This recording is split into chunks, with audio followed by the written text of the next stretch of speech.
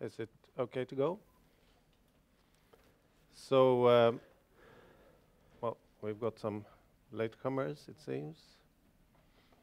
So, welcome all so much to, to SIPRI uh, this morning.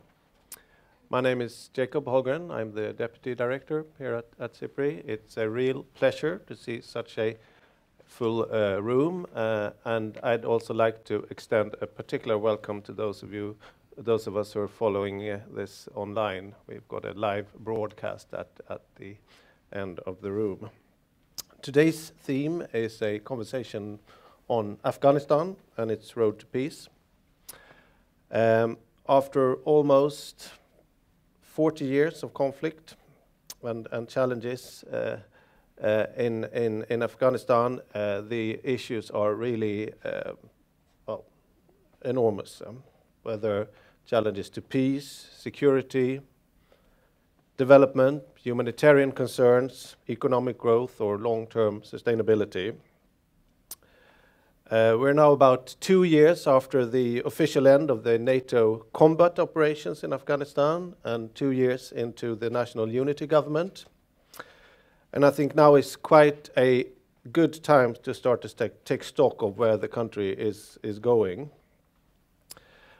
And I'd say that while it is uh, probably, probably true to say that the international community may have shifted a lot of its immediate concern to places like the Ukraine, to Syria, to Iraq, there's obviously still a lot of institutional memory internationally and great interest and concern for how the situation in Afghanistan evolves.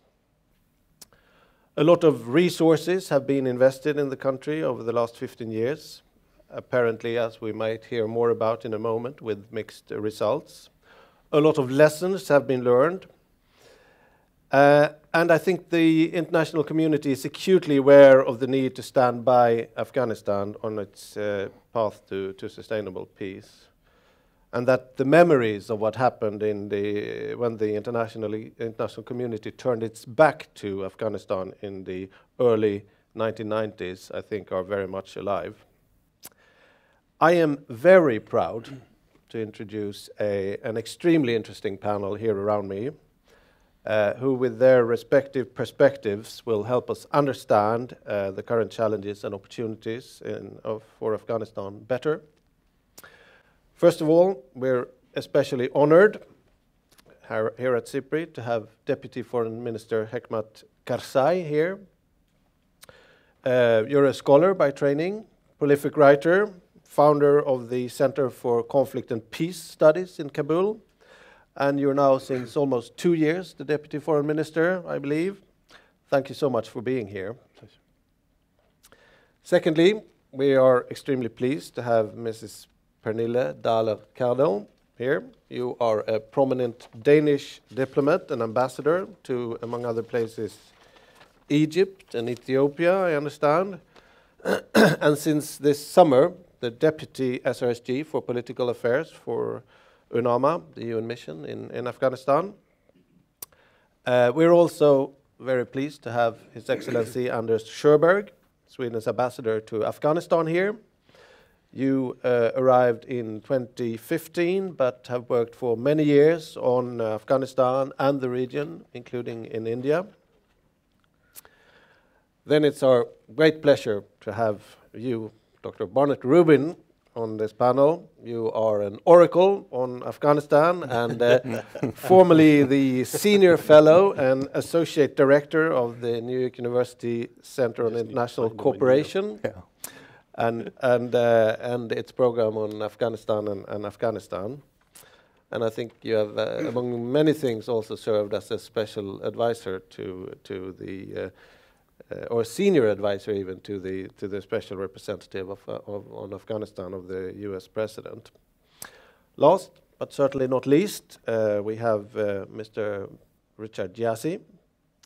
You're a colleague of mine, an eminent SIPRI researcher who has written and worked uh, widely on Afghanistan, both before joining SIPRI and, uh, and also currently. Last year, you co authored a, a report on uh, the e private sector in Afghanistan, and you're currently working on the so-called One, Ro One Belt, One Road uh, initiative, which obviously also spans over, over Afghanistan. Uh, we're so glad to have you here, and we're really looking forward to this morning's uh, discussion. And uh, I'd like to organize the uh, conversation in the following way, that we I suggest we start with the challenges and the obstacles to, to, to peace. And then I'll put a couple of tailored questions, and then we'll move our ways toward, towards the opportunities and, and, the, and, the, and, the, and the chances that, that things might improve. Um, so, um, if I force you a little, Mr. Karzai, we're after all talking about a country with almost insurmountable uh, challenges. From, from, from your vantage point, what, what do you see as the current main domestic and foreign factors that deter uh, Afghanistan's path to, to peace and, and stability? Sure. Bismillah uh, Jakob and Excellencies, colleagues, uh, let me just say that it is indeed a pleasure to be in SIPRI. Uh, this is an institution that I have admired uh, for years and years. Uh, as Jakob mentioned, I was director of a peace institute in Kabul. So this for me is like a homecoming. So I want to be able to connect and, and engage with everyone. Second, this is my first official trip to Sweden, and I'm truly honored to be here. Sweden is a small country, but with an enormous heart. Uh, the amount of assistance that you have provided to Afghanistan, whether it's through Swedish Committee for Afghanistan or the fact that we uh, Afghans are the largest recipient of your aid is something that we Afghans will not forget. Uh, we are grateful friends. Uh, you have lost six soldiers, uh, and their lives uh, have not gone in vain. they, they are lives that we, as Afghans, will remember as your friends. Now, uh, to the question that Jakob asked. Uh, in the last 15 years, I think uh, we have had uh, different challenges to deal with. Uh, we have had uh, different perspectives. we have focused on Afghanistan for certain times, and then our focus was off Afghanistan. And then at one point, we had to come back to Afghanistan. And I think if one of the greatest lessons we can learn from the last at least two decades is that uh, you know Afghanistan is going to find its way back uh, into the news, uh, whether it was after the Cold War, where Afghanistan was abandoned, uh, or uh, whether it was after 9/11, where things were going really well, uh, the focus was shifted to Iraq. And even now, I think one of the greatest challenge that we see now is there's enormous amount of focus on militant and violent groups such as Daesh and Al Qaeda, particularly Daesh. Uh, and one of the things that we really see is that once sanctuaries for Daesh are eliminated in places like Syria and Iraq, they're going to start looking for other sanctuaries. And this is why I think our region, particularly Afghanistan and Pakistan, is, is crucial.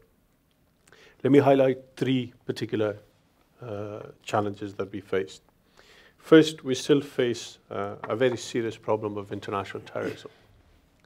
Many of the international groups, whether you call them as Al Qaeda, whether you look at Daesh, whether you look at ETIM, which is the Eastern Turkestan Islamic Movement, which operates in China, whether you also look at many of these groups, all of them still operate and, and, and fight in Afghanistan. Uh, it is an opportunity for them to develop uh, their links, their networks, and from there to go to other places. That's one. Second, there's in our region institutional support for these groups. Uh, some of these groups are provided sanctuary, logistical infrastructure, uh, and financial support. So that seems to be uh, the second problem specifically. The third issue is about better governance and better delivery. And that is something that uh, we are learning. We are uh, trying to make sure that we're able to do a better job at it. Uh, but at the same time, I think if you look at the history of the last 15 years, we've had four elections, which, uh, you know, thus far has improved the lives of people. Uh, I think if you look at just very basic numbers, You know, we have 9 million children going to schools, and you know, 35% of them are girls. That is an enormous statement that we could not make 15 years ago. We have women participation uh, on so many levels in the government. We have four ministers, we have five ambassadors, you know, we have on so many different levels that, you know, uh, the gender empowerment is taking place. So things have changed, but I think there are uh, difficulties that we need to focus on. But it cannot be done just by Afghans themselves. They need the support and partnership of, of our international friends. I will leave it there. Thank you so much. Thanks for uh, keeping it uh, brief and, and to the point. Thanks for these three points. If I may turn to you now, Ms. Uh, do, do, you do you agree with uh, with uh, with Mr. Karzai's uh, assessment here, or what do you see as the the key factors that deter if we now start with with that kind? Well, um, first and foremost, I think I would like also to thank you for the invitation for, for being here today. I think it is incredibly timely again and again to have an opportunity to, to discuss what is it that hampers and what are the opportunities around peace in Afghanistan. Because on a daily basis, um, we keep to forget. sorry, I think there's an issue with your microphone, actually. I'm so sorry. You want this out of here? No, you can keep it. I'll just put it. Technical pause. Yeah. You can hear me now. Yeah, that, no, but just just very just very briefly to say thank you for the invitation for for being here today, mm. and particularly for picking up on the discussion about what it is that, that deters and, and are of opportunities for peace in Afghanistan. Because I think on a daily basis, certainly in UNAMA, um, the, the daily work um, leads us to focus on, on you know, day-to-day issues and, and mm. concerns. And, and, and very rarely do we get a chance to actually stop up and say, wait a second, the reason why we're here is because of the missing piece. When we have fulfilled what we are there to do, we've worked very closely with the Afghan government and, and supported their efforts to, and the efforts of the Afghan people to, to make peace in Afghanistan. So it's, it's, it's a very, very useful opportunity to, to, uh, to be in this discussion, and certainly also for me, having now been with UNAMA for, for five months, which is a short time, um, and, but a time where, you know, it's, it's, it's a good time to mm. reflect on that. Um, and I think it's important that, to, to remember that without a just and sustainable peace in Afghanistan, all the work that has been done over the last uh, many years to, by the Afghan government and the Afghan people and with the support from the international community could be lost. So it's in, in, that, in that lens that, that, uh, that um, we try to, uh, to look at, at the work that we do. But I very much agree with the points raised by the Deputy Foreign Minister. I think um, when, when I look at it, um, certainly, I mean, uh, uh, the battlefield as such, um, there's, there's, if you look at it, and again, what kind of measuring stick are we using? And that's, that's, that's one of the things that can be difficult. But, but if we are looking to the battlefield as providing a mutually hurting stalemate, um, there's reasons to believe that it's going in that direction, that, that it's actually, it's, it's actually uh, considering the challenges that the Afghan uh, national security forces have been up against, it has not been going as badly as one could certainly have feared if we had sat here two years ago. And that brings us in a direction of creating, possibly internally in Afghanistan, what it takes uh, to create some basic parameters for peace. And at the same time, also the, the signing of the peace agreement with the uh, Hizbul Islami Hekmatyar um, was an encouraging step. Yes, there's issues and we'll get back to that possibly, but it, but it did indicate a very strong uh, desire from the Afghan government. I think that, that peace, is, peace is, is, is a goal and is something that you know, the Afghan government goes far to achieve. I think I would also like to pick up on one of the issues that uh, the Deputy Foreign Minister mentioned, and that is the presence of Daesh in, in Afghanistan with the, with the various aspects of that. And I think one of the, one of the fears that we have right now is that the possible sectarian divide, which is not a natural in an Afghan society, mm. but that's being instilled by the way Daesh is approaching their, their activities in Afghanistan, um, that, that is one of the things that, that, that could again add another level of complexity to, on the road mm. towards uh, peace. And on the regional side, certainly, I mean, Afghanistan has this unfortunate history of everybody being involved for other reasons than Afghanistan, and that complex picture continues to play itself out. Um, and, and something that uh, the, the Heart of Asia meeting just took place, and, and again, there's a good discussion, etc. But there's key issues there with the regional players to, to create uh, the notion of the importance of peace in Afghanistan for the sake of peace in Afghanistan, Mm. that, that, that is a challenge. And the last thing I want to mention too is, is on the issue of governance, that it is a difficult thing for the, for the government to, to deliver. There's, there's results, there's progress. But, it, but the national unity government, you know, the more time is spent on trying to make the very top level function, the less time can be spent on actually delivering to the Afghan people. And there's only so much time in that time glass kind of thing. Um, so, so the importance of, get, of, of really getting the govern, governance agenda going and, Mm. and on the delivery of that. And I'll stop Mm. here too and Mm. look forward to discussing Yeah. the, the, the prospects of future. So. Yeah, thanks, Ms. Kardel. Very, very useful. I mean, you're essentially saying that uh, it could have been worse. huh? um, so we'll turn to the opportunities in, in the in a while, but but it's uh, of course uh, uh, true. I mean, the, what you highlight about the Daesh and its possible, uh, well. Uh, bigger significance in the in the country is certainly something we should look out for. Uh, Ambassador Sjöberg, may, may I turn to, to you now, and and you as the, the last of the three uh, persons representing uh, official uh, positions and government positions here. Do, do you agree with the Deputy Foreign Minister and and, and the Deputy SRSG here, in, in, or what's what's the Swedish assessment uh, when it comes to the It's factors okay that not to deter? Huh? Anders, please. Thank you so much, and thank you very much for in inviting. I think Yeah. this is a great opportunity for. Is this working? Um, Yeah, it might come. Yeah. So, well, so you, you get to visit as well. yeah, I, I could, I could, uh, could only hear myself.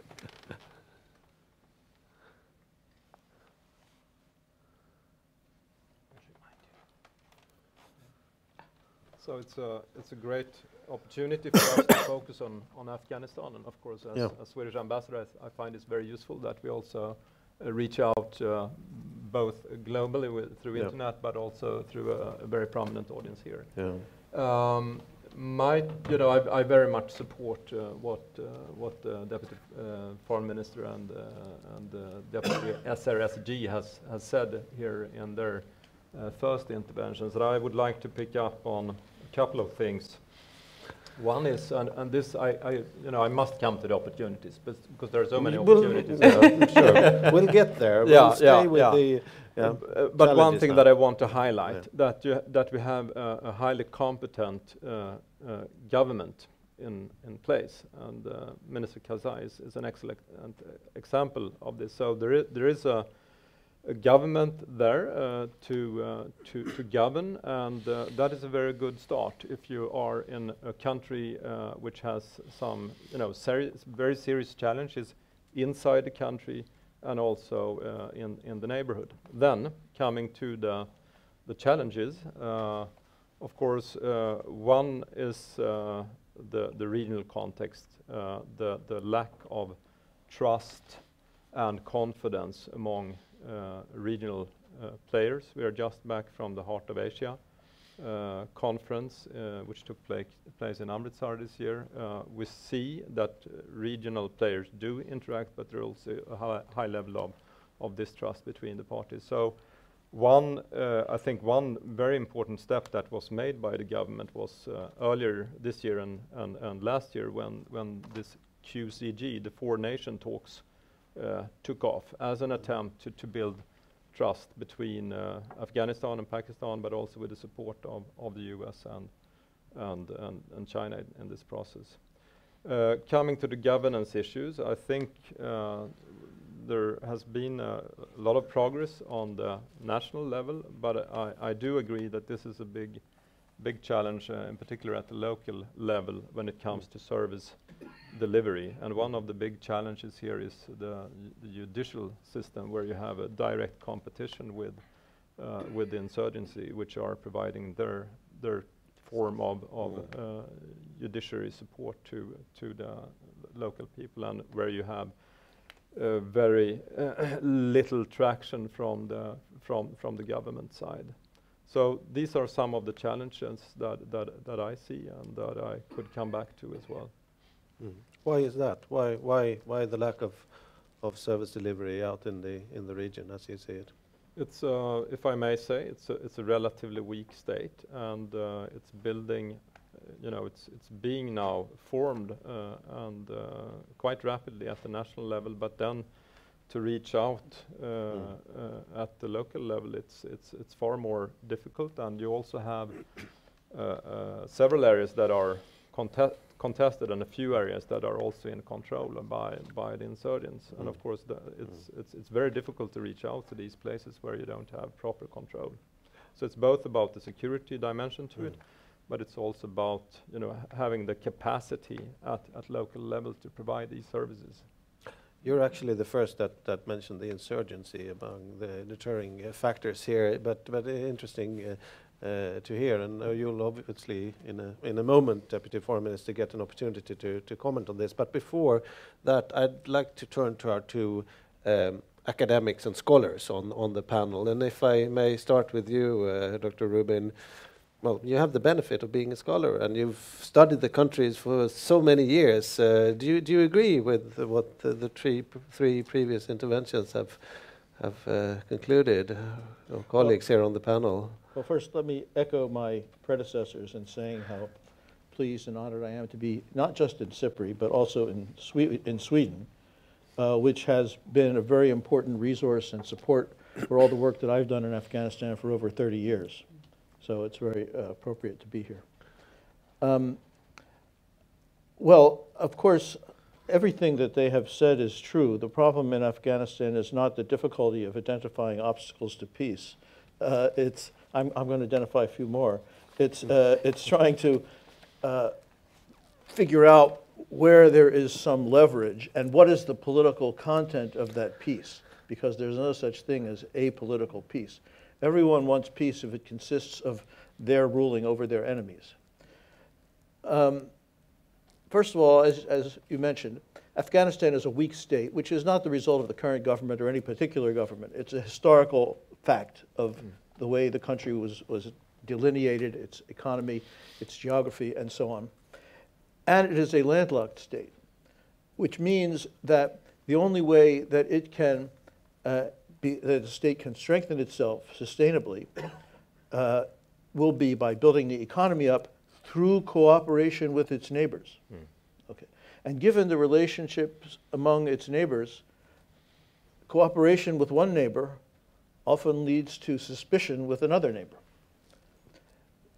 Next, in the interim period, while it's still such a weak government and uh, a weak state, not government, a weak state, and um, dependent on external assistance, it can, while it is trying to build this, the, this network of regional cooperation, it requires quite huge assistance from the United States and the rest of the formal international community.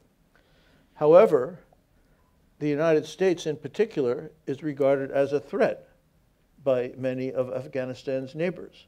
And therefore, reconciling the need for regional cooperation with the need of, for a commitment from the United States is quite difficult. That's become even more difficult with the growth of Daesh in Afghanistan because that has led a number of, of regional players, in particular Iran and Russia, to shift their strategies vis-a-vis the Taliban and the government and so on. Perhaps we can discuss that a little bit later. Now, uh, just briefly, I think that there also is a very possible, uh, uh, there, there are some unknown changes that will take place in the relationship between Afghanistan and the United States as a result of the change of administration in the United States. And I will just generally observe that often when I talk to uh, non-Americans about this, I detect what, from my point of view, is unwarranted optimism about what the next administration will do, hoping, projecting that it will be a continuation of the past in some way. I do not believe that it will be. I'll, honestly, I'm speaking as a complete opponent of, of uh, Donald Trump. Uh, so I have a bias. I'll lay it right out there. But he has not been some. He has said that he pretty clearly that he does not want to have a long-term commitment to any foreign countries, including Afghanistan. He said he'd keep the troops there begrudgingly. He's not a big fan of foreign aid. Um, his national security advisor is very uh, is not just anti-terrorism, but is quite rabidly anti-Muslim, and he has aroused significant racist and anti-Islamic passions in the United States, so that we have seen an increase in rapid increase in hate crimes since the election. which will have an, uh, ultimately have an impact on the ability of the United States to cooperate with Muslim countries. Because we've seen in, Afghanistan, in, in the past several years, whenever there was a Quran burning, for instance, in the United States or carried out by uh, uh, in, inadvertently by American soldiers in Afghanistan, that led to a very harsh reaction. I think, unfortunately, we have to expect uh, more of those. Now, there, on the positive side, which we'll get to later, I'll just say a word.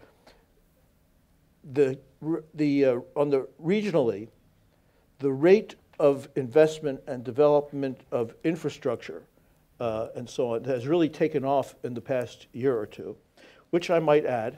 And I might add that building infrastructure with billions of dollars of dubious loans that will never be paid off is something that Donald Trump will understand very well.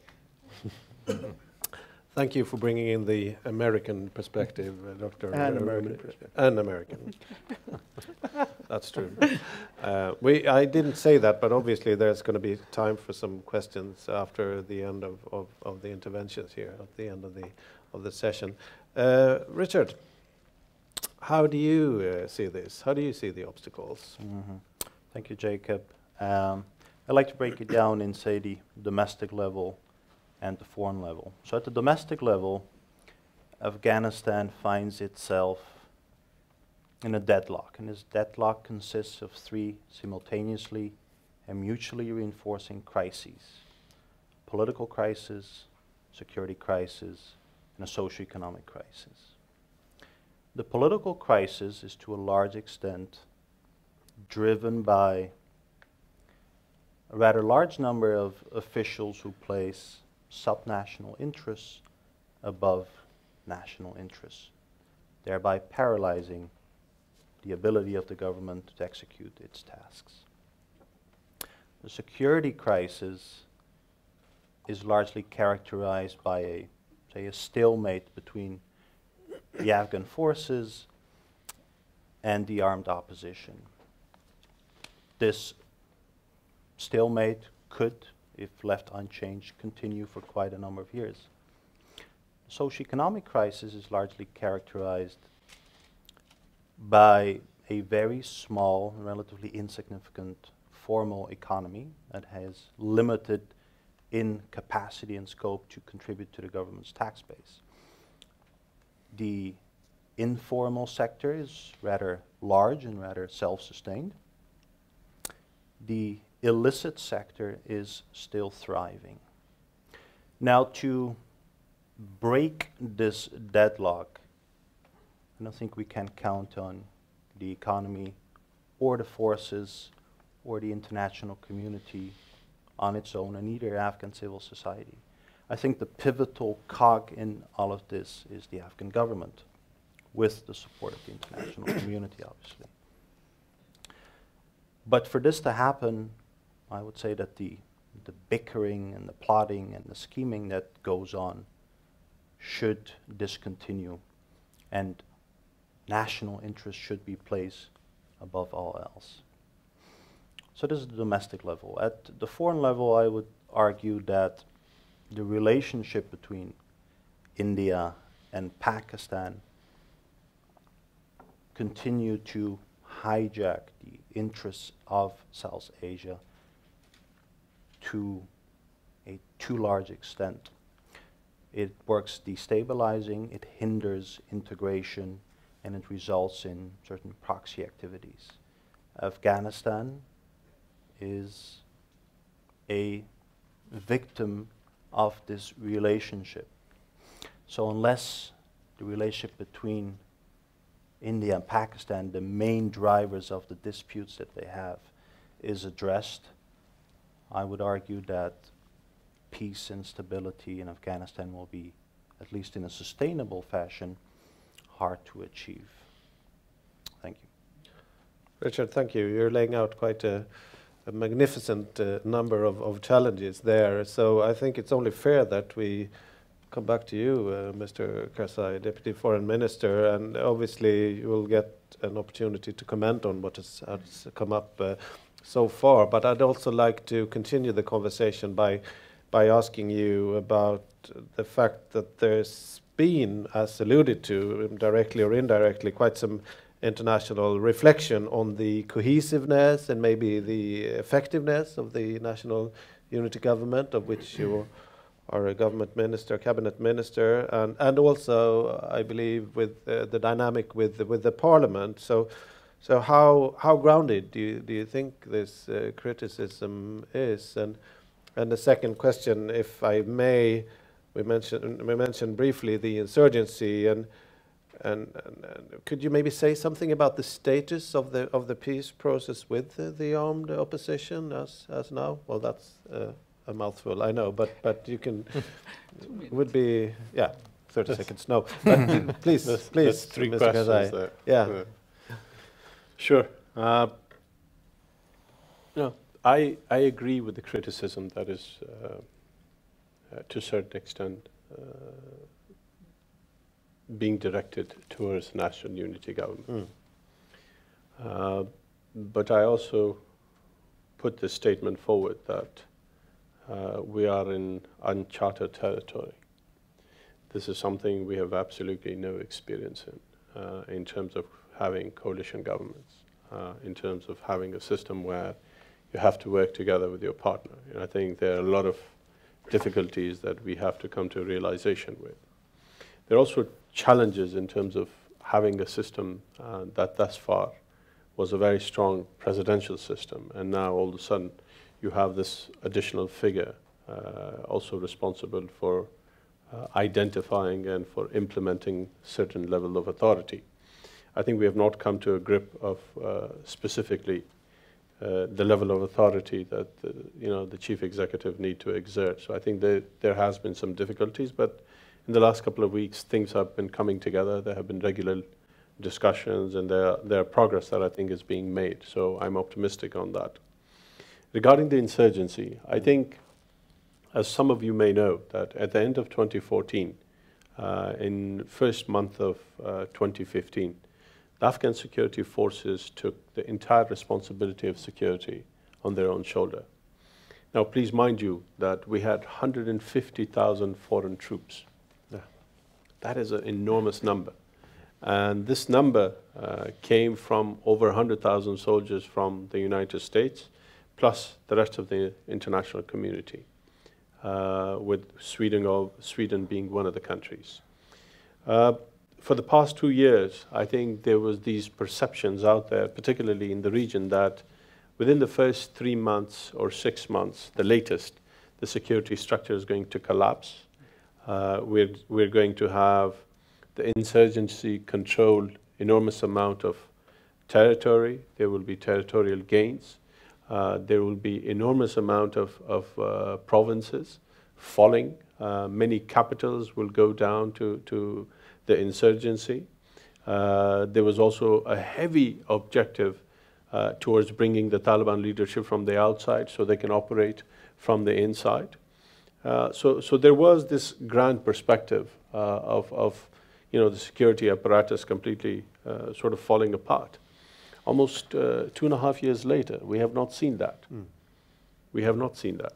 And what's uh, the international presence down to now? About 8,400 soldiers. Mm. the American soldiers, and then about uh, 3,000 international, mm. additional international forces, which include, of course, German, British, and, and a few soldiers from Scandinavian countries.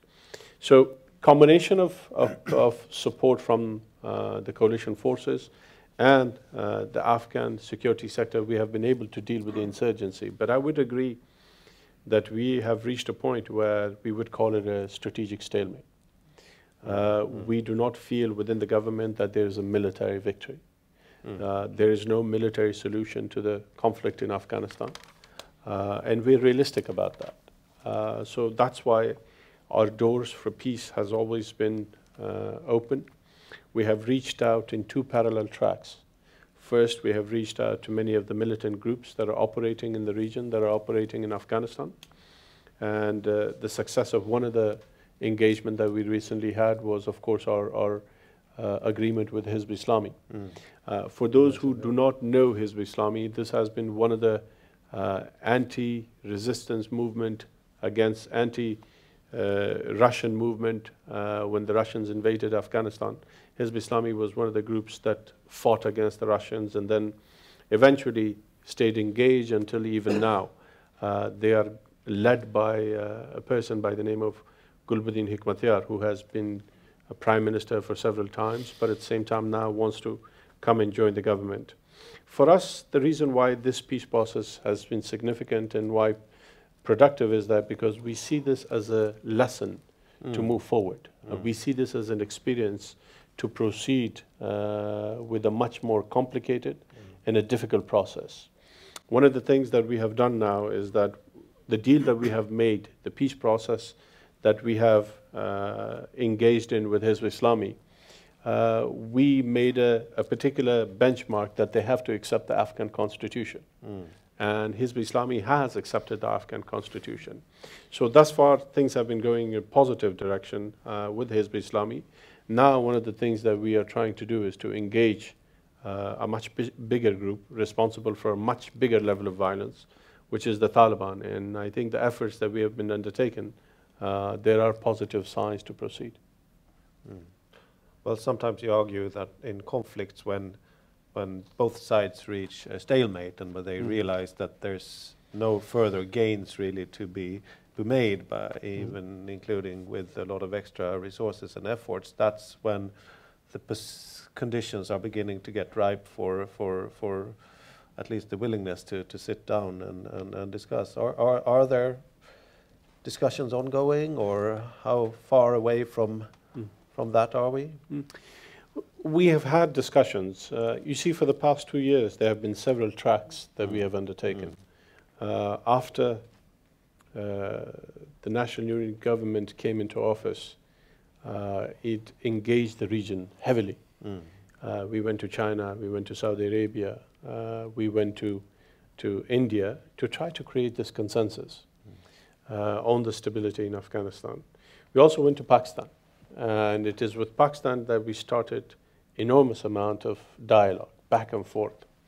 Uh, we invested extensive amount of political will mm. in our relationship with Pakistan. Uh, we sent for the first time in the history, we sent our soldiers to Pakistan for training. We allowed Pakistani soldiers to come and interrogate violent militants that we arrested. Uh, but at the same time, on the Pakistani side, sadly, we did not see any reciprocity. Uh, we continue to see enormous amount of violence stemming from Pakistan directed at us.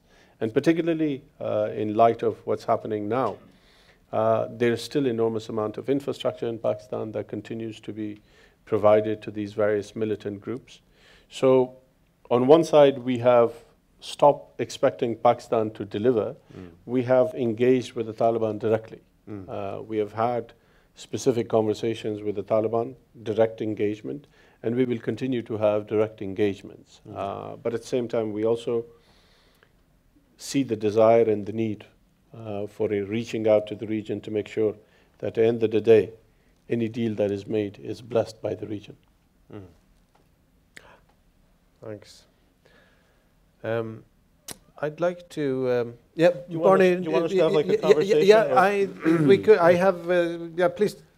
I have another question as well, but but Dr. Barnett, please. Well, yeah. I think that um, Hekmat's answer illustrates one of the problems, which I think it's worth stating specifically, which is this is not a conflict with only two parties, mm. uh, uh, and, and it, it's a not so. It, it, just those two parties becoming exhausted is not sufficient. Um, and each of those two, par- and of all the parties, none of them agrees on who the parties to the conflict are. The Taliban believe they're fighting the United States. The Afghan government believes they're fighting Pakistan. Pakistan is very unclear about who is fighting whom, but it, it claims that it's uh, you know, the Af- corrupt Afghan government fighting against the Af- Afghan Taliban. Then, from this difference comes proposals for different formats for talks. And whatever format has been tried so far, someone else in the region objects to it. If Pakistan is in, if Pakistan is out, if China is in, if Russia is out, okay, someone objects to it. So uh, that, and there is no power that uh, combines both the legitimacy of the United Nations and the power of the United States and some others that can resolve those things themselves. And that is why Hekmat and others spend so much time going around the region to major capitals trying to uh, coordinate this. But it's a much more difficult problem than just resolving a conflict between two parties. Thanks for that uh, remark. Um, may I maybe with this turn to uh, our two representatives here of the international uh, community and also widening it. I mean, Deputy Foreign Minister, you mentioned the uh, well, the international military presence, how it's gone down from 150 to barely or a bit more than 10,000. Now, uh, recently we've seen quite a few uh, reports being uh, released on the lessons learned of that enormous and extraordinary, I would say. I saw that it was the United States' longest war engagement in, in Afghanistan, uh, and uh, where um, I mean, a very serious attempt, or several serious attempts, to draw lessons from this this investment and this engagement have been have been uh, done. So, uh, and essentially, it comes down to uh, what did the international community do right? What could it have done differently? And what should it maybe be doing differently? Both, of course, in Afghanistan as we go ahead and go along, uh, and obviously also in other uh, contexts. So. Um, Ms. Kardel, as, as representative of the uh, of, of, of, the United Nations in, in the country, uh, what, what, what, what do you what do you see? How do you see these uh, lessons? How, how are they? What are the key lessons, and how are they taken into account? And, and if you want to allude to what was said on the peace process, you may, of mm -hmm. course, as well. Mm -hmm. So please, and then I'll ask you, Ambassador Sjöberg. Yeah.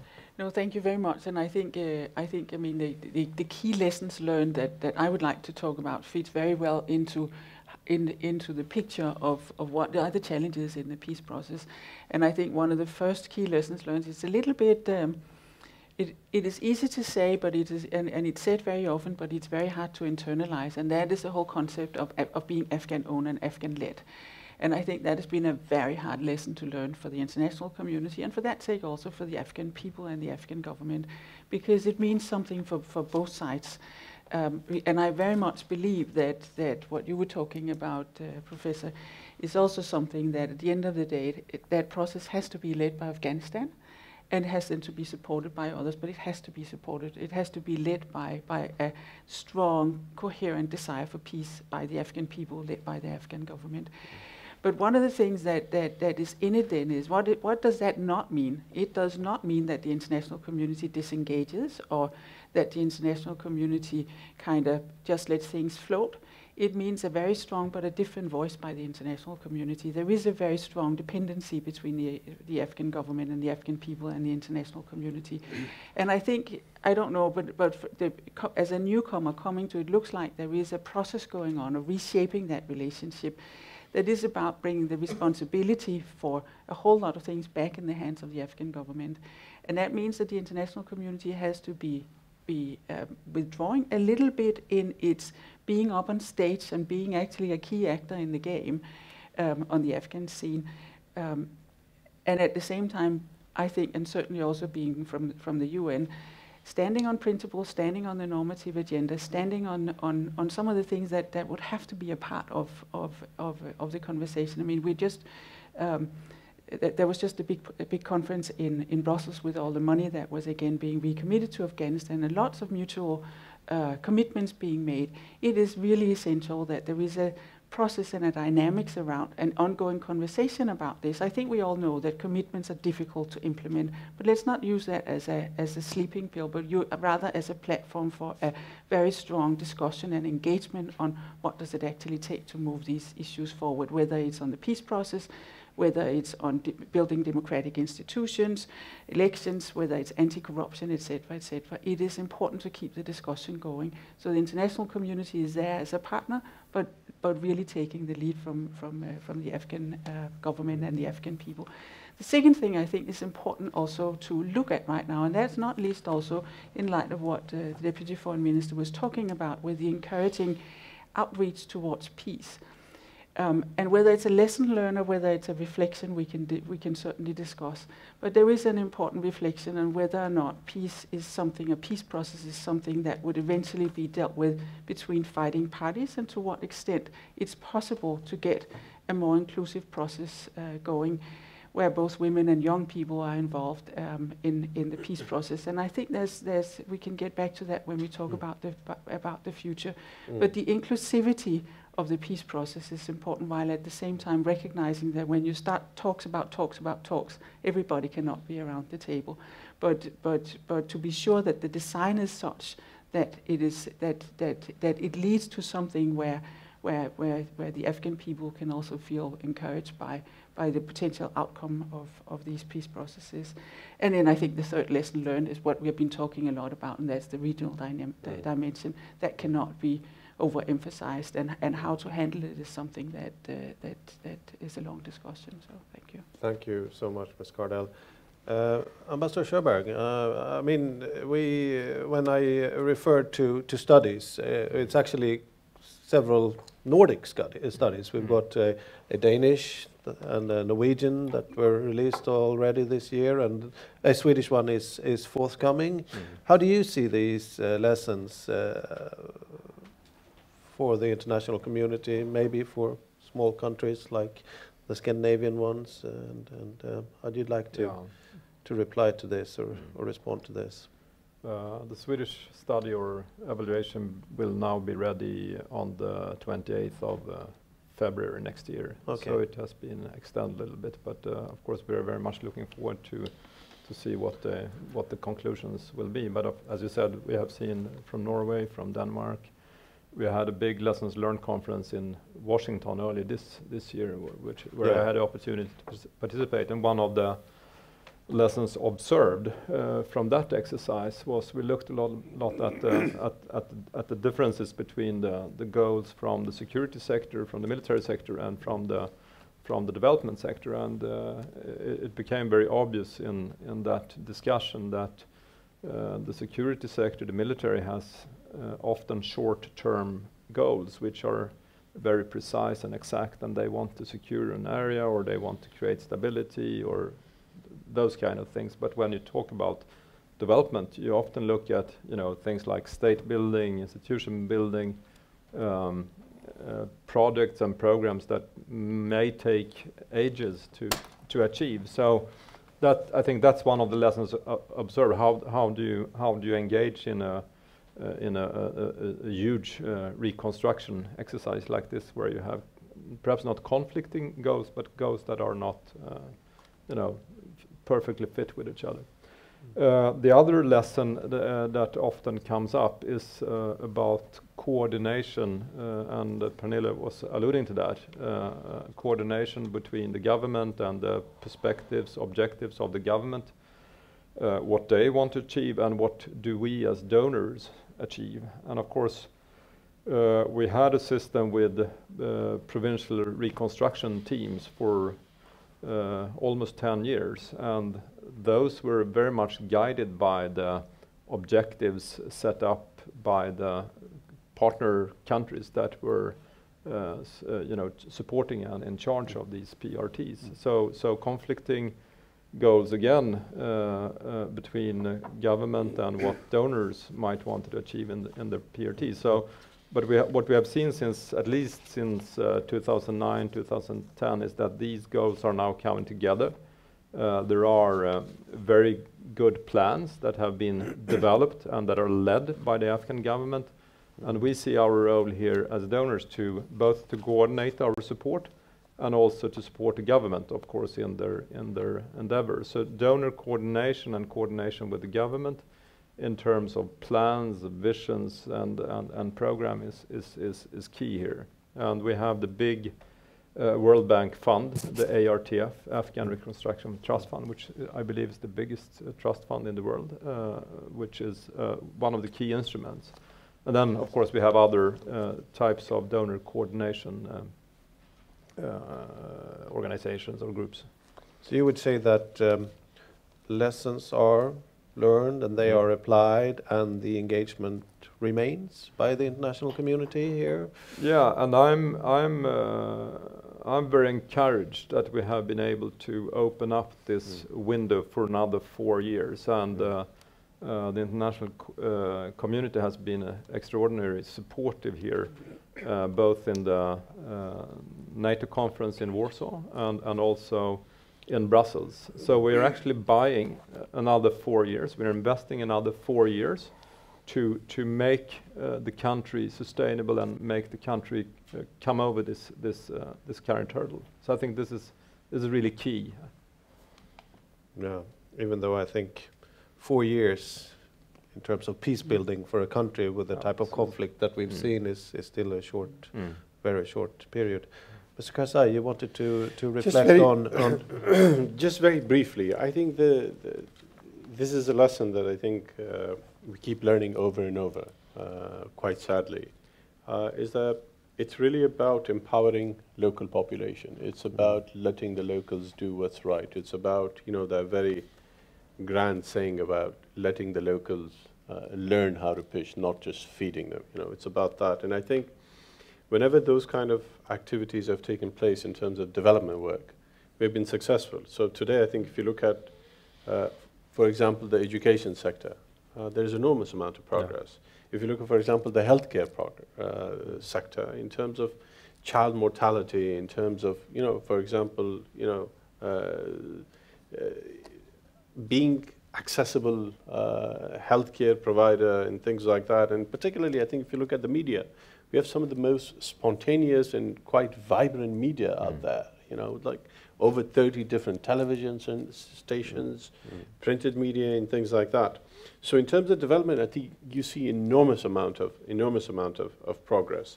I think where we got it wrong, uh, and, and it's something that I think needed to, to have, you know, we should have looked at the politics uh, from, from different angles, particularly if you look, looked at the region, particularly looking at, you know, I, I talked about the fact that when there is an insurgency that has a safe sanctuary, the chance of that insurgency uh, moving towards success are much greater. You know, for over a decade, we completely ignored that. So that that is something that I think we, we needed to recalculate and, and see how we can focus on that. Thank you. Well, you have the privilege of uh, having been a scholar for many years on Yeah. Afghanistan, and now uh, you're in a position to influence uh, things. So, so good to hear that you, you consider that the, the lessons are being uh, being applied.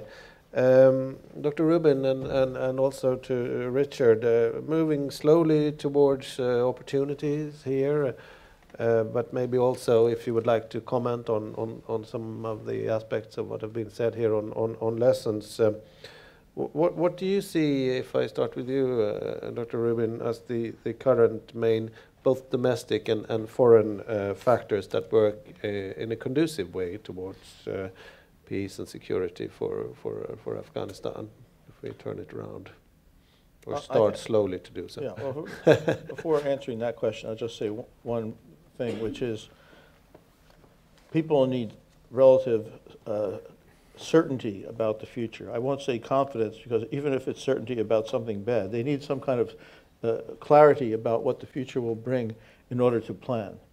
And right now, they don't have that. Okay, and we'll have to wait some time for that. I think the most uh, positive thing that has been happening in Afghanistan in the region, as I mentioned earlier, is the very rapid development of the, exactly the type of infrastructure that Afghanistan will need uh, to uh, break out of the uh, of, it, of the backwardness that is caused by being landlocked.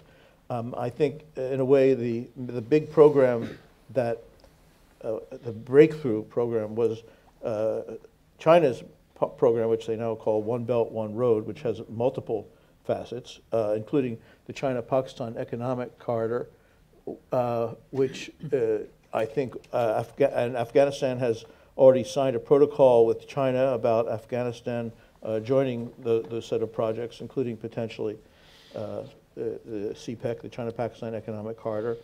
In response, India, perhaps not entirely response, India and Iran are collaborating uh, on a route through the port of Chabahar so that India will have direct access to Afghanistan and also to Central Asia. To be determined whether that uh, leads to cooperation and peace or to a new type of conflict. Um, you have the, uh, an agreement by Afghanistan with Turkmenistan and some other countries uh, to open what is called the Lapis Lazuli route from Afghanistan through Turkmenistan and then Caspian Sea and the Caucasus to Europe, which would be the first uh, international route from Afghanistan that does not depend on either Pakistan, Iran, or Russia. so strategically uh, could be very important. And just recently, the first railroad was inaugurated there. Um, uh, Sh- um, Shaanxi, uh, was, was which province? I forget which province. Shaanxi, I think, province in easter, eastern China recently sent uh, at least one train uh, all across Central Asia to Mazar-e Sharif with commercial goods. Iran also sent a train to Herat from Tehran. Other railroads, uh, uh, which Afghanistan has never had, are also being built.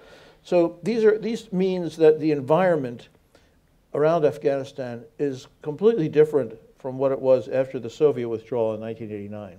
In particular, because uh, there's a huge amount of investment and there are potentially huge losses to all of these major countries if they cannot stabilize the situation. So I think for the first time in decades, they have really a, a serious self-interest in trying to find a way to do it, which may make them more willing to take risks. Thank you. That's uh, that's encouraging. We're starting to move toward that. But, uh, Richard, uh, how do you see uh, these more conducive factors, if Mm. I may? Well, I see uh, definitely see a couple of positive notes as well. At the domestic level, I would argue that um, there are definitely a number of very hardworking, very committed officials who work relentlessly towards achieving peace and stability. So those individuals in the government are absolutely there. The Afghan forces, as has been mentioned before, in a largely independent capacity, continue to battle under very different, or sorry, very difficult circumstances. And should also be noted that the country has a youth bulge of roughly 65%. So, say the, the muscle to reconstruct the country and the physical brain to reconstruct the country, that is an asset and that's there. Um, at the foreign level, indeed, there are these integration efforts going on, mostly led by, by, by China, to an extent by, by India, Iran. These are all very positive. They could potentially change the mindset, move it somewhat away from geopolitics and very zero sum foreign policies to something that moves more towards geoeconomics, uh, somewhat more perceptive to integration. Positive development, but I think the, the harvest of this is most likely going to be over the, the long term. Um, the international community remains committed. Indeed, there are other priorities now. Afghanistan is not anymore in, say, the top five. It definitely moved a few notches down, but the commitment is there.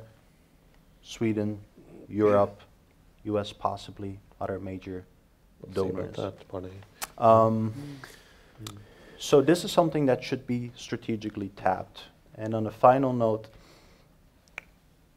there is quite a unique momentum going on in terms of, say, the alignment of, of relevant powers. That is to say that some of the key actors, the US, EU, China, Russia, India, um, their interest to see a stable Afghanistan is, is largely overlapping. This wasn't always the case in Afghan history.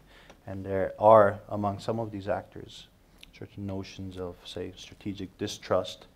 But I would say that it is largely a positive development that should be tapped strategically and intelligently. Despite what Dr.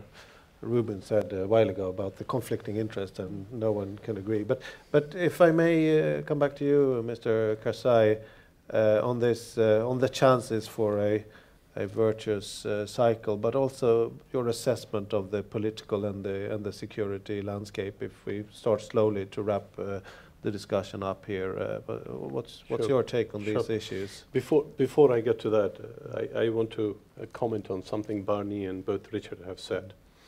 Uh, politically, I think for the past decade or so, we have seen a zero sum game. Mm. Uh, because the progress one made or the achievement one made was sort of uh, seen in a negative perspective. Uh, if you had relationship with one country, uh, you know the other countries saw it in a negative light because you know you were getting closer to that. I think both uh, Barney and I have a friend which has coined this term that Afghanistan is not just a conflict within itself; it's a theme park of conflict. a theme park of conflict because you have I mean, Ali Jalali. Exactly, exactly. You know? So you have, for example, uh, you know, these various different elements battling it out. So how can we change that equation? And I think the best way to put it is, as Barney said, we need to start looking at this economic equ- equation. Mm. This region is enormously rich, uh, whether it's minerals, whether it's energy, whether it's infrastructure, and it's developing that infrastructure. You know, the, the port of Chabahar gives Afghanistan access not to be landlocked lo- lock anymore. Uh, the rail line with Turkmenistan, or this rail line all the way to China. This gives Afghanistan this mentality that it will not be dependent on Pakistan, on Gwadar or Karachi for the rest of its years. That is the first mentality that, that I think regional players need to look, that this region is moving economically. So you either adjust yourself or you are left behind in this context. Particularly, I think the, the, the demands that you sort of see. Central Asia is very rich, uh, whether it's with energy or whether it's with, with, with uh, uh, specifically uh, gas, electricity. These are things that South Asia is absolutely looking at. So, for example, there's a very serious uh, need for whether it's gas or through TAPI pipeline, that it goes from Turkmenistan to Afghanistan to Pakistan, going all the way to India, or whether it's electri- electricity uh, that is in the form of CASA 1000 and various other projects that is going towards South Asia. So, Central Asia uh, providing the necessary uh, needs uh, that uh, South Asia desires. And Afghanistan really, and this is what the ultimate goal for Afghanistan is to be, to be this connector, to be this bridge. If you look at the history of Afghanistan, it has always been, whether it was part of the Silk Route or now part of being this one belt, uh, one road element, is to provide this roundabout. And this is the objective that, that we wanted to, to move towards. Uh, and in the last two years, I think we have seen enormous amount of progress in this regard. And you Uh, see that the government will organize itself to create the framework that will be conducive to that these chances and uh, opportunities are well taken care No, of? no, no, absolutely, absolutely. In, in two areas, look, in order for us to become this land bridge, uh, or to become, you know, this, this roundabout, we have to have both the software and the hardware. The hardware is really the rails, the roads, and the infrastructure. The software is really agreements between these various countries, whether it's through custom agreements, trade agreements, through various different levels. And we are absolutely committed to that. The problem is, is that South Asia and Central Asia is the least connected region. But at least this is what we're pushing for, this is what we're moving in that direction. Thank you. Ms. Kardel, what's your, uh, if you look into the crystal ball here, if you, how do you see the political situation or the political landscape moving along, and, and do you see any chances for opportunities as we go along? Well, I, I certainly think there are some very important opportunities coming up. Um, and I think one of them that has just kind of been opened up is the opportunity of rebuilding trust in the democratic institution with the putting in place of new uh, electoral commissions um, that has been so important. But that in and of itself is, of course, not enough. And there are some key, key challenges in, in, in actually uh, rebuilding that trust in, in democratic institutions. And I think it's there's, there's a, there is a, a really a strategic choice by Afghanistan right now to say, is this an opportunity that should lead to rebuilding that trust, or is this an opportunity that would be more put into the political uh, maneuvering and then get out of it whatever comes out of it? And I think it's I, from from from our perspective, of course, it's essential that that it is the first choice rather than the latter. And there's some really d- difficulties in it because, of course, I mean, Parliament has already said for a year longer than its mandate. This- So, so there is a desire to see uh, new elections for, for the parliament. At the same time, it's important that these elections are, are being prepared properly. And I think there is also a discussion to be had in Afghanistan and among the political elite. What kind of role would I like to play as a politician? Am I one of those who would like to cheat my way to power? I'm one of those who would like to bring, uh, build strong democratic institutions that rest on a, on a mandate, a solid mandate from the population. Um, and, and, you know, we are, of course, with the Afghan government working very much on, on supporting the electoral reforms, etc., etc. And they can do so much, and they're very essential to get off the ground. But there is a choice to be made as to whether it is the rebuilding of trust in the institutions of, of, of whether it's a different game that's important. And it would also be important for leading up to the 2019 presidential election, whether there are some shifts in that type of culture. And there I also see that you know the government has started some very encouraging work on anti-corruption and that would be essential to see that being carried through to something that is meaningful, meaningful in a bigger picture, but also meaningful for the for the Afghan people out in their daily lives, dealing with it. There was a report coming from SIPRI recently about what women see as the biggest obstacle for getting involved in in the in, in as a political player and as a meaningful for participant. And the first issue that was raised there was corruption. So so you know there's some there's some opportunities there, but they have to be harvested properly in order to in order to lead to to uh, in the right direction. And the second thing that where I think there's also some really good opportunities, uh, the Deputy Foreign Minister Karzai was talking about it. The, the first steps towards to, into the field of the peace process, that is that is really really encouraging to say that that's a part of the conversation now. It wasn't a part of the conversation uh, just a few months ago, but the, but the agreement with, with, with Hizb Islami has all of a sudden brought that back. And that has also brought back a conversation about a, a tiny little space of the discussion of transitional justice that is, if anything, an area when we talk about Afghan led and Afghan owned, that is where the international community has to be desperately careful. This is not our conversation, this is the Afghan conversation. And if we get it wrong, we would hamper uh, the, the conversation that Afghanistan would need with itself in order to settle the past and, and with the prospect for the future.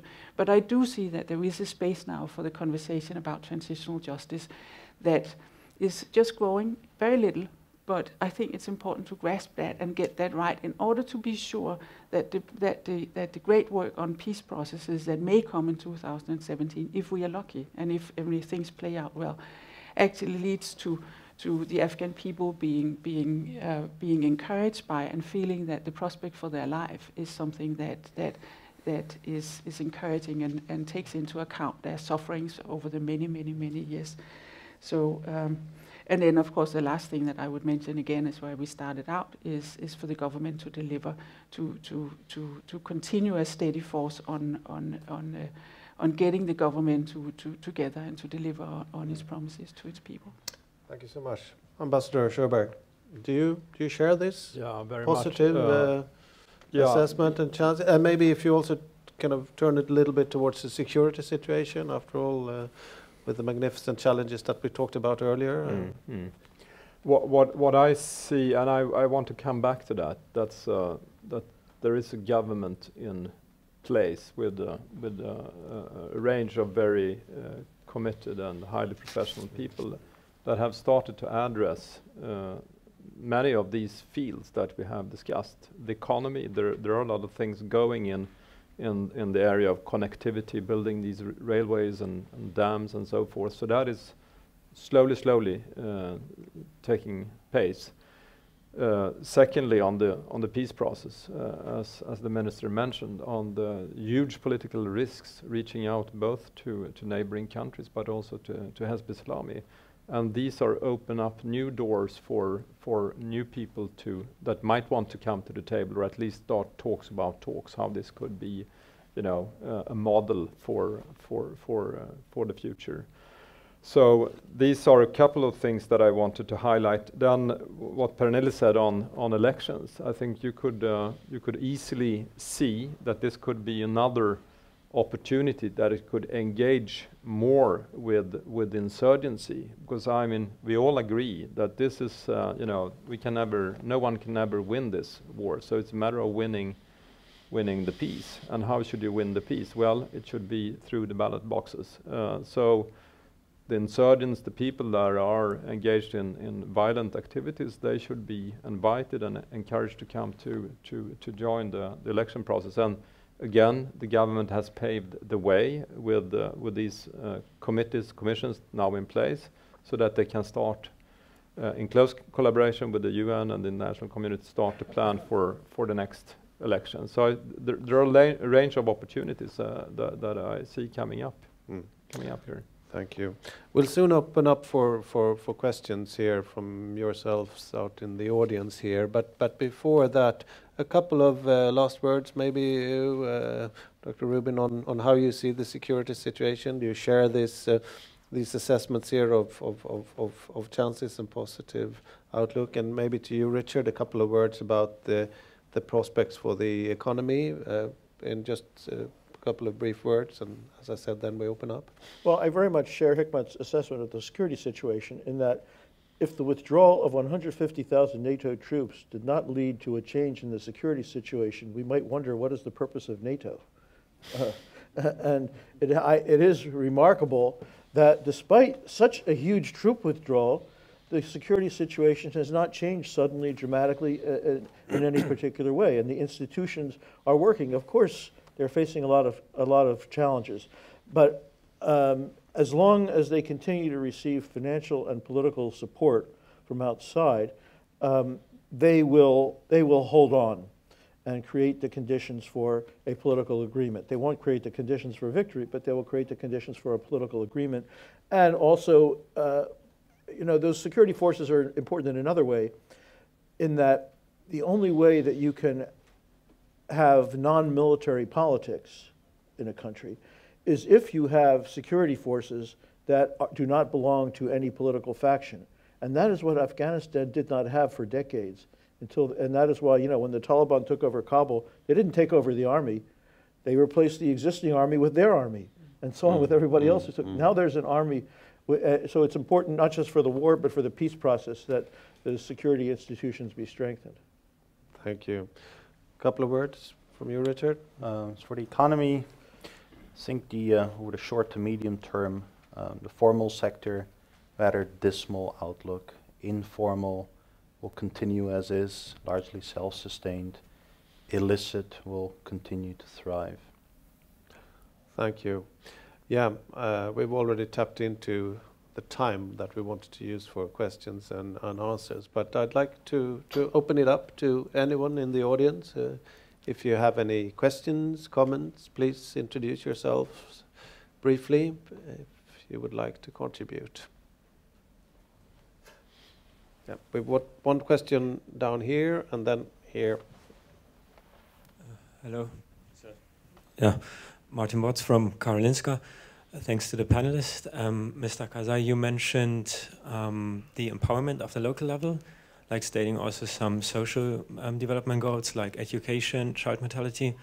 Um, I would like to know if you could give us some examples or strategies how this um, empowerment of the local level could be achieved in Afghanistan.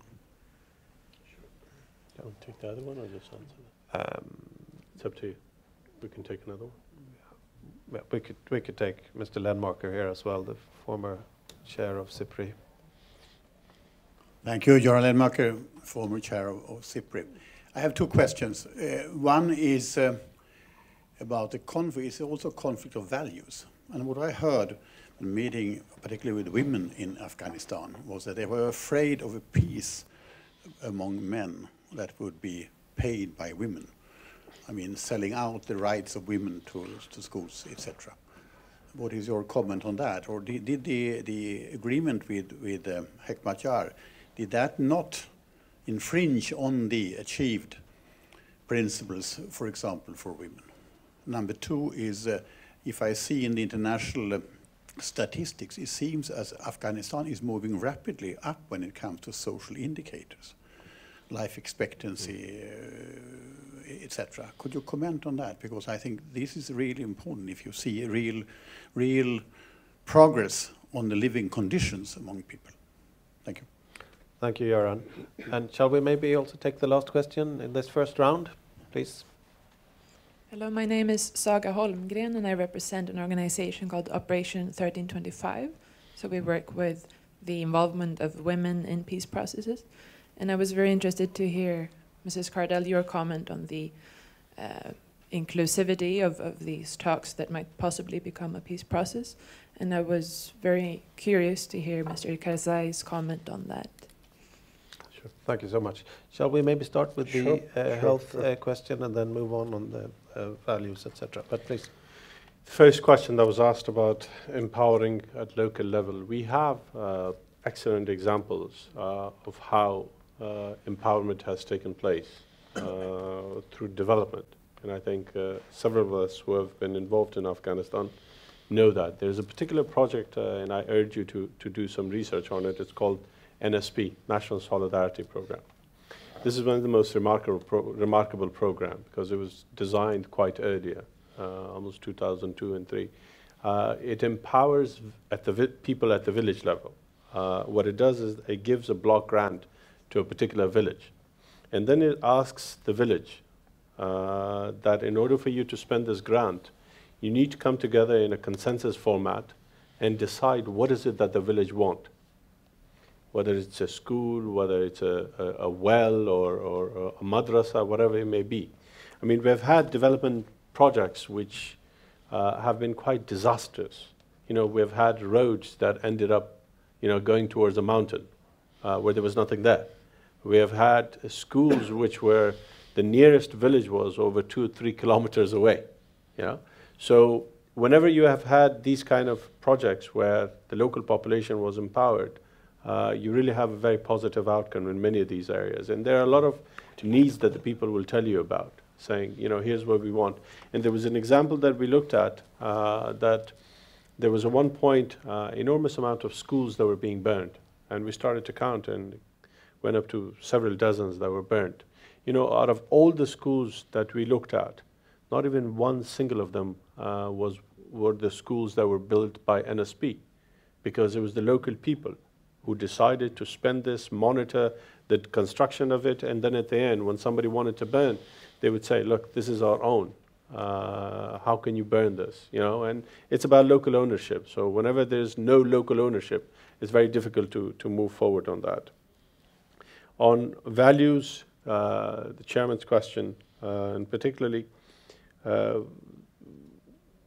I was the lead negotiator for the government uh, on the first face-to-face dialogue uh, with the Taliban. I was also the negotiator for the QCG, Quadrilateral Coordination Group, uh, and in many of these discussions. And uh, I've always made the point that we have to have women representation. Uh, not just women, sort of a token representation. We have to have women, and, and, and I think in the past 20 uh, or 30 years, one of the things that has happened is that we have some enormously credible uh, and reputed women uh, who have been part of the civil society. You know? So on, on our, after our first talks, we immediately decided that we have to have women in various of these formats. And even now, if you look at our High Peace Council, uh, one of the deputy directors uh, of the High Peace Council is a woman who's here uh, now in, in uh, Stockholm, will be talking to the Women's Mediation Network tomorrow uh, to, to discuss this. I think in all of my conversations in all of the areas where I've led the government delegation, there are certain things that I say that, you know, we may be able to negotiate on a few things, we may be able to ne- not negotiate on, on others. One of the things that we can absolutely not negotiate on is the rights of human beings. The rights, and particularly, we cannot compromise on the right of anyone uh, in this context. So we take uh, the right of women and particularly the right of human beings extremely seriously, and this is something that is one of the greatest achievements of the past 15 years, and we cannot take that for uh, you know uh, lightly. And anything that doesn't take us forward, takes us back, is not something that the Afghan people are going to agree to. So that is value that we're going to proceed in this regard. Similarly, I think uh, in this context, you know, about social indicators, it's about you know a slow delivery from the government, and particularly, I would go give credit to the enormously energetic uh, NGO community that exists in Afghanistan. Uh, they're probably some of the most remarkable people. And uh, here I give also example of, of you know, uh, the Swedish Committee for Afghanistan. It has done enormous amount of work. I mean, if you look at Mazar, if you look at some of these other provinces, I mean, they have delivered health, they have delivered on, on, on, on, on education, but there are Afghans that have been trained along the way. And it's services that are not just being uh, delivered by the government, it's coming from a lot of these local organizations and international organizations. And, and, and, and if one area that I said we have done well is it's being able to provide certain level of, of delivery uh, to the local population. On 1325, uh, we have been quite instrumental in, in uh, moving forward with 1325. We've had already a drafting session, a launching session. We have already finalized the budget for 1325. Uh, I have been personally instrumental in making sure that, that it is absolutely implemented and we streamline uh, the, the, the, the, gender uh, element of that. We have allocated about $50 million. Uh, there's about $11 million that the Afghan government would directly uh, provide. And then there's about 38 points uh, so uh, million dollar that our international partners will provide to start looking at different projects, to start assessing. And in here, I, I absolutely uh, compliment the role that, that Sweden has played, particularly because this is one of the key cross-cutting themes that he has undertaken, and, and we have had enormous amount of progress here. Thank you, Mr. Karzai. Would anyone, yeah, please, Ambassador Sjöberg. Just very, quick, yeah. just very quickly on yeah. the 1325, I could also share with you that together with the government, with the minister and uh, the Ministry for Women Affairs, uh, we're organizing trainings, uh, training uh, in mm. mediation mm. for women from the from the provinces. and it, that's together with the Folke Bernadotte Academy. But it's uh, again, it's Afghan-led. It's with Afghan trainers in in Dari and Pashto and it, uh, the beneficiaries here are, are women from the provinces where, which rarely come to Kabul. Uh, so they come there for training, but also to network with other women in, in similar situation. It's, it's a small contribution, but I mean, we, we are also there to, to, to try to play an active role as, as an embassy. Sounds like a great contribution. Uh, Ms. Kardel, you wanted to, and also Dr. Barna? Yeah, let me just uh, just come with a with a, a quick comment uh, on that, maybe. Um, and, and just to make us not necessarily fully agree on everything that we say in the panel, um, I think you know th there's no question about that. So much has been achieved for women in Afghanistan over the last 15 years. It's also, as you say, there is a value agenda in this, and there are some choices that are being made, and that has to be made, and some really difficult uh, issues coming up, and they come up in the connection, obviously, with with some of the peace negotiations that are being that, that are being explored. The question is just whether time has come for Afghanistan and for its international partners to start not talking about what has been achieved over 15 years, but what needs to be achieved over the next four or five uh, years. And I say that because I think while there has been so much achieved, we cannot continue to live with that. I think I think there needs to be a, a more ambitious agenda on this. There's just been elections to the uh, provincial council uh, administrative boards, and fewer women have been elected to the administrative boards positions this year than last year. It's marginally, but it is there. Um, it, and, it, and the question is not if you actually look at it, are we, are we looking at a, at a curve that is that's plateauing out, which is fine because there's so much investment in this and achievement. But do we dare to try to be ambitious, ambitious and say that the agenda for the next few years, and was actually also to some extent identified in the Afghan uh, Peace and Development Framework that was a, a, base document for the Brussels conference, is to say, okay, let's, let's ensure that women are actually actively involved, as the Deputy Foreign Minister said, in the peace processes, not just on gender issues, but as contributors on the broader issues. Let's make sure that women get meaningfully involved as political players and political actors, and, and there are, as opposed to 15 years ago, the number of young, well-educated women who are out there and ready is numerous. They're there and they're ready, uh, as well as they have, have older mm. sisters, doc, just like Dr. Sarabi, uh, who can who can take the lead on some of this, and and thirdly also to look at the commitment that was made uh, in Brussels by the president on on economic empowerment of women. Let's try to let's try to develop a forward-looking, more ambitious agenda rather than resting on what has been achieved for the last 15 years, while of course at the same time continue to celebrate that things have changed.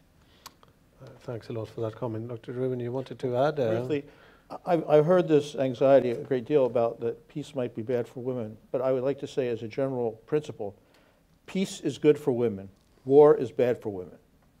And, I, I, it, and it is unfortunate if the rights of women is used as a justification for continuing killing and bloodshed. It should not be. Now, as far as dealing with the Taliban and Hekmatyar, I've been monitoring, along with Hekmat, all, many of the discussions that have taken place with the Taliban by various parties the Taliban do not say that they're fighting to overcome the social, to destroy the social gains of Afghanistan. In fact, they never mention it. You know, when the Taliban were not organized as a movement against democracy and women's rights, that's not what you would see in Afghanistan in 1994. They were organized as a, as a movement against civil war and anarchy, and they used very harsh methods for it. Now the situation is different. Um, they have a different narrative about why they are fighting. Uh, I, I, you know, and I think in the, His, in the Hizb Islami negotiations, as far as I know, that wasn't even a subject. Oh, no, absolutely. well, it didn't even, it did not even come up, and it's never come up in any of the discussions with the Taliban either, because it's uh, except in the except in a positive way. Uh, so I think there are plenty of things to worry about, and in fact, women's rights are at risk in Afghanistan. They're at risk today, as she was saying, and as as the international involvement decreases, they will be more and more at risk. But the risk to them will not come from peace. but maybe from very conservative traditions. That Mm. And from the ability change. to finance, uh, the inability to finance the programs that women are benefiting from. Mm. Remember, all of these social gains are not economically sustainable. Yeah, uh, we're already more or less on overtime here, but if we have one final or one or two final questions, and then we'll wrap it up, because I think I owe you that. So please, uh, we have one question here, and then one, and then a third, and then we draw a line after that. Uh, hello, my name is Inayatullah Adil. I'm doing my internship at SIDA, but my questions are not behalf of SIDA, my own questions. Uh, you, Mr. Sjöberg, mentioned that there's lack of trust among regional players, but I will mention that also there's enormous lack of trust among Afghans, among Afghans on uh, state institutions and the government, and that is due to uh, lack of delivery, basic services, and uh, enormous corruption in the country. So my questions to Mr. Hekmat Karzai is, how do you deal with these uh, political corruption and the administrative corruption? Because the corruption also, you know, contribute to the insurgency. So yeah. Thank you. That's very clear. We had a question down here, I believe. Thank you for the very interesting uh, talk we had this morning. I am an intern at the Institute for Security and Development Policy. And my question um, rather regards um, the relationship uh, between uh, Sweden and Afghanistan. And I would like to hear from you what you think about the agreement uh, that provides for the return of illegal migrants um, to Afghanistan, also considering that Sweden is one of the major donors. And I would like how I would like to hear how you see this uh, act. What is the political meaning? Thank, Thank you. you. That's very clear. Please, last question. Yeah, my name is Sirajuddin Khalid. I work for uh, for Kubernetes Academy as a researcher. Uh, my question is also regarding the negotiations. Uh, I've been working a little bit with this issue since uh, a few years. Um, if you look back in 2010, 11, 12, there has been too many actors active playing in this. I mean, to, for instance, there has been in, uh, times that more than two dozen of uh, actors has been involved in this uh, so-called talks about talks. so I would like to ask a question that uh, what is the situation now? Uh, how coordinated the efforts uh, are now? And um, as you mentioned about this, um, uh, we, we really don't hear about the contents of the discussions. What are actually on the table? Uh, as uh, mm, uh, Barnett mentioned, the issue of uh, women that has never come on the table. Similarly, we uh, always hear about uh, one of the major conditions from Taliban that they want to discuss the constitution of Afghanistan. Has ever, I mean, really, they've been asking about, you know, amendments or, you know, anything. Thank you. Thank you very much. I guess that, uh, Mr. Karzai, you'll have to respond to all of the three of these, and then I'll ask for brief comments from uh, you two others here. So, on the lack of delivery and political and administrative corruption, on the agreement with Sweden, and on what's the content of the talks right now. First, last question. How do we? I completely agree. I think there is, uh, you know, certain level of distrust with the government which has to do obviously with, with corruption and uh, both at the political level and at the administrative level. But at the administrative level, uh, the only way we can really deal with corruption is by fixing our procedures and processes. That is the best way we can do, and, and there are elements and there are discussions going on on how to streamline these processes where the interactions uh, with the government officials are reduced uh, if you look at, for example, various different processes in Afghanistan, uh, just like most uh, bureaucracies in developing countries, there's enormous amount of steps to almost everything. You know, at one point we calculated that in order to get a license, uh, you needed to go through like 52 processes. Mm. That on each level was, was a disaster. So administrative uh, corruption really has is about procedure, it's about streamlining things. Political corruption uh, on many levels, it, it's about there has to be a deterrent factor. And there has been uh, several deterrent factors in the sense that uh, people have to be held accountable. Uh, we've had very senior people now being held accountable. We recently had a, a, a major general uh, who mm. was brought in by the Major Crime Task Force uh, and was punished, and now he's in prison. And, and, the ambassador can tell you more details on that. And I think uh, one of the, the key elements uh, for us to have a engagement with our international partners, one of the key issues for us is to be able to deliver, for us to not really keep asking for more assistance, but it's really about us delivering, us making sure that we mm. stand on our feet. Mm. And, and corruption is something, obviously, that at the end of the day, uh, not something that we are going to tolerate. On the issue of refugees, Afghan migrant returning, um, we have a bilateral agreement, uh, and we also have a, a, document with the EU called the Joint Way Forward. Uh, Afghanistan, as a responsible player, uh, is going to abide by that agreement.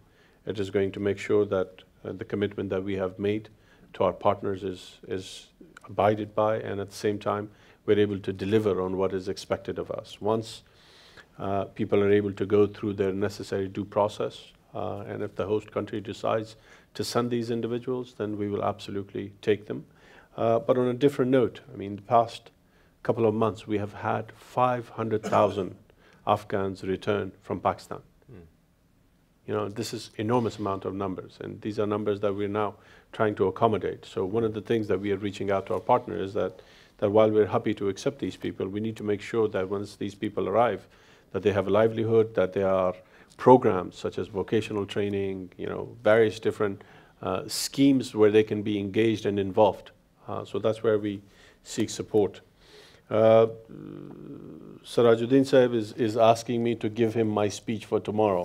uh, I'm speaking in the Women's Mediation Network tomorrow, and I think some of these questions are, are going to be things that I'll talk about. But particularly, you know, uh, at this stage, we are with the Taliban. Uh, with the Hizb Islami, I think we made enormous amount of progress, and we have an agreement. There's a commission that is, uh, which I'm part of, uh, to implement a lot of the, the decisions that were made. Uh, there are various committees that have been formed. For example, there's a committee on on detainees. Uh, there's a committee on delisting. There's a committee on refugees. There's a committee on uh, military affairs. So all of these committees have particular individuals uh, that are following There's an element from Hizb Islami, there's an element from the government and HPC together that are following on these issues. So, so there is delivery. For us, we need to make sure we absolutely deliver on the Hizb Islami deal because the Taliban and various other elements are watching to see whether we can deliver or not. If we're not able to deliver with Hizb Islami, the deal with the Taliban is going to be much more complicated. And with Taliban, I think at, at this stage we're still at confidence building measures. And there are issues that they have asked us. Uh, in the past, as you know, that there were elements about delisting some of the senior Taliban members and also giving them an address, you know, and, and, and one of the additional requests that they used to have is that, you know, uh, bringing many of their people that were in Guantanamo uh, either to Qatar or back to Afghanistan. Uh, five of those very famous detainees, the famous five, have already come back to uh, from Guantanamo to, to, uh, to Doha. But there are elements that we are now directly working with them. I think the United States and, and Afghanistan, we are trying very much to see how we can start this process. And I think we're going to have more engagement during the winter time. Uh, so we're optimistic about that. Thank you.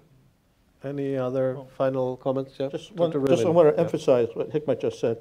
All the discussions that I have been aware of with the Taliban have been either about confidence building measures or about procedures.